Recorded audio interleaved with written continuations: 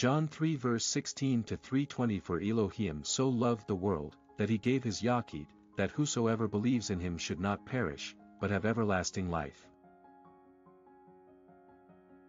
For Elohiym sent not his Yachiyd into the world to condemn the world, but that the world through him might be saved.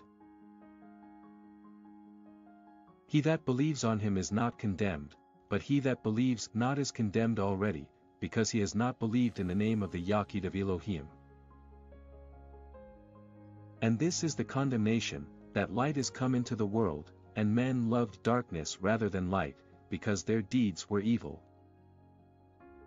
For everyone that does evil hates the light, neither comes to the light, lest his deeds should be reproved.